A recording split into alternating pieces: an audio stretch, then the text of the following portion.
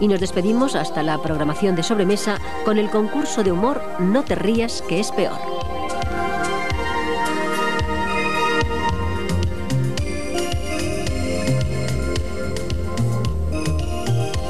La masía, el aceite de oliva.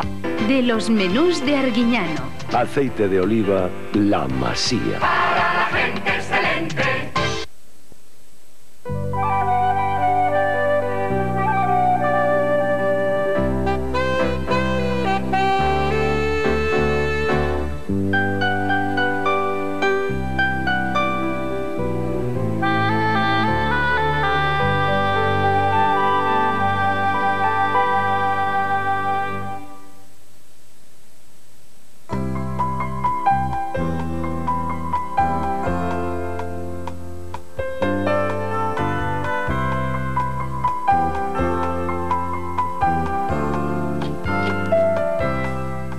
Vaya lote que traigo aquí.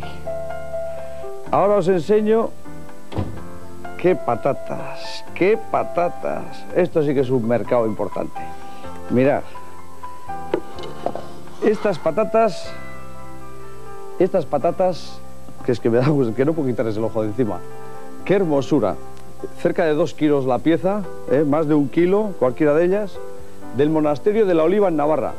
El hermano Enrique que se ve que le pone cariño al tema, le crecen las patatas con fundamento. Está clarísimo. ¿eh? Bueno, pues os quería enseñar estas piezas tan impresionantes. Fijaros, es que da gusto.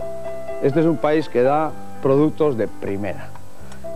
Y si tienes buena semilla, el terrenito, lo cuidas con cariño, los resultados son seguro de 10. Como en este caso, el hermano Enrique no pierde el tiempo. Perfecto. Tú sí que eres hermano. Muy bien, bueno, voy a dejarlas aquí para luego. Porque vamos a hacer un tema con patatas. Casualidad, ¿eh? Mirad, por eso os he enseñado las patatas. Y con otras patatas de esas que teníamos, hemos hecho un puré. Hemos hecho un puré que luego lo hemos pasado en, sin, sin agua, ¿eh? en seco, bien seco, pasado. Le hemos añadido un poco mantequilla y una yema de huevo. Y la sal. Y tenemos aquí un puré que se queda pegajoso, pero vamos a hacer como unas almóndigas y es muy sencillo. Para hacer el relleno tenemos cebolla, tomate, champiñones y unos pimientos morrones. Hemos puesto todo a pochar, lo hemos pochado bien y entonces por una parte hemos hecho el puré de patata bien pasado al que le hemos añadido, como os he dicho, la mantequilla y la yema de huevo. Y por otra hemos salteado la cebolla, los champiñones, el tomate y un poquito de, ajo con aceite ¿eh? y la sal. Y ahora hacemos una bola, nos manchamos la mano con harina para que no se nos pegue, para que no se nos pegue mucho, ¿eh? Y hacemos una bola. Bien pasadito por harina, así, bien. Hacemos como una pelota y el relleno este que tenemos aquí, el relleno que tenemos, hacemos un agujerito y le metemos dentro. Un poquitín de relleno del champiñón con la cebolla y el pimiento, así. Se le rellena bien se pasa por harina, un poquito de harina y aquí tenemos otra almóndiga más, una sorpresa de patata, que se podría llamar. ¿eh? Y tengo aquí adelantado el trabajo. Y ahora lo que vamos a hacer es freírlas, pasarlas por harina y huevo, freír y los acompañaremos de una sencilla salsa de tomate. La salsa de tomate la tengo ya hecha, que hemos hecho una salsa de tomate con un chorrito de aceite, dos dientes de ajo, dos cebollas y cuatro tomates todo, bien, bien pochado y luego lo hemos pasado. Y en esta sartén vamos a freír las sorpresas estas de patata pasadas por harina y huevo. La harina por aquí y el huevo por aquí. Así para que no se nos mezclen las cosas. Chorro de aceite de oliva que vamos a poner en la sartén. Esto es muy fácil y además es que cualquiera que en casa coma esto pues se va a sorprender de pronto porque el puré está hecho con cariño y entonces está muy rico el puré de patata. Está muy rico el puré, y, pero si encima, al romperlo, hombre, pues dentro tiene la cebollita, el pimiento, el champiñón, se le mezcla todos los sabores y encima rebozado. Y luego con la salsita de tomate de acompañar. Vais a quedar, vais a ver. Vamos a pasarlos por harina y al huevo batido. Huevo batido normal, ¿eh? Harina Y aquí hay que mancharse un poquito las manos porque, hombre, el puré, tener en cuenta siempre que hay que dejarlo un poquito seco, porque si os queda muy jugoso, muy jugoso, no vais a poder hacer las bolas, ¿eh? Tiene que ser seco, o sea que a la hora de pasarlo por el pasapuré, bien escurrido, bien escurrido. Y la patata es simplemente cocida con agua y sal. Al huevo. ¿Qué sería de nosotros sin huevos, sin cebollas, sin ajo, sin patatas y sin perejil? ¿Qué sería de nosotros? Qué tristeza. Y sin aceite de oliva. Qué tristeza. Yo es que disfruto de todos los productos que, que puedo disfrutar en la cocina, que es de todos, ¿no? Que es que es- eso, es, eso es, bueno, eso es un auténtico lujo, el que vayas al mercadito y sin tener que pensar, "Oh, pues ni en angulas, ni en langostas, ¿eh? porque eso es para cuatro. Para todos son estas cosas y por eso estamos en ello, ¿no? Algo de lo que podamos disfrutar todos. Yo recuerdo que un día vino, no sé, creo que ya lo conté, Paul Bocuse es cocinero más conocido que hay en el mundo, es, es de Lyon, francés. Y este vino a, la inaugura- a, la- a un centenario de unas bodegas en La Rioja y le dieron patatas con chorizo y repitió tres veces. ¿Eso qué quiere decir?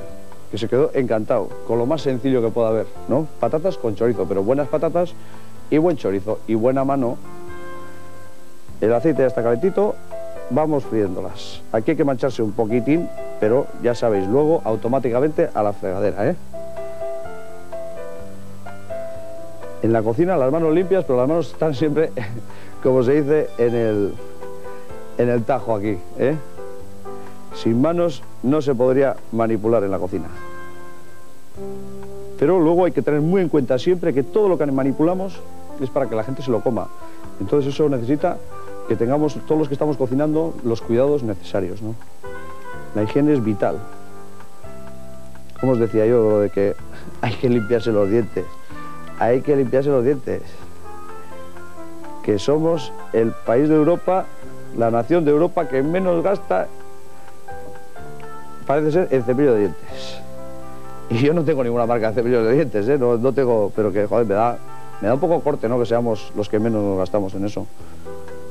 Cuando somos tan dicharacheros. En eso, por ejemplo, yo creo que los italianos cuidan mucho, ¿no? Lo de la imagen. Ellos, ya sabéis, el diseño, imagen y demás, siempre han cuidado mucho. Pero me parece muy interesante, ¿no? Que cuidemos lo mismo que la moda, el físico, la salud, todo va junto. Y al final los beneficios vamos a ser nosotros mismos. Cuanto mejor nos, más nos cuidemos y mejor nos alimentemos, mucho mejor para todos. Bueno, pues esto ya está, en marcha. Aquí he adelantado un poco el trabajo, pero esto os dais cuenta lo que es, un puré de patata, una salsa de tomate, el salteadito del champiñón con la cebolla, el ajo y el tomate fresco, bien salteadito, pasar bien el puré después de, de hecho el puré, pero bien escurrido, bien escurrido, en seco, seco, le añadís un poquito de mantequilla, una yema de huevo, hacéis las como almóndigas, unas bolitas bien em- embadurnadas en, harina, porque si no se os va a pegar todo, ¿eh? bien de harina, que no pasa nada, porque luego justo coge la de la, ¿eh? lo, lo que hay por fuera, o sea que no, tampoco se, se- se pone esto pringado de harina, es una película de harina la que lleva. Y ahora los freímos, ¿eh? los freímos como si esto es patata, pues patata, como lo de dentro ya está ya salteadito, solo se tiene que calentar y dorar por todas partes, ¿eh? como si fueran almóndigas de patata. Ah, pues ahí van, como señoritas, finas, finas, delicadas. Y aquí sí que no nos encontramos ni con escamas, ni con espinas, ni con pieles, ni con historias. Buena salsa tomate, todo bien colocado y la ramita de perejil. Encima decorado. En casa tiene que haber aplausos. A ver si los que coméis todos los días y no cocináis, por lo menos sabéis agradecer a la gente que está en la cocinita todos los días intentando agradar. Que ya sé que la mayoría lo consiguen. Pero hay algunos que comen muy bien y fuera en la calle defienden, pero defienden a capa y espada la cocina de casa. Pero sin embargo en casa no saben agradecerlo. Y yo os puedo decir que es es muy bonito el que cuando la gente nota que hay, una receta distinta, hay que la mano de la casa se ha esmerado en hacer algo, el detalle de a la señora de la casa el decirle, vaya cómo están hoy las almóndigas, cómo están los pimientos, qué arroz más rico. Eso se agradece mucho, ¿eh? Y eso es muy barato el decirlo, ¿eh? Bueno, vamos a dejar que se frían bien en otros tres o cuatro minutos y pasamos ya a presentar el plato.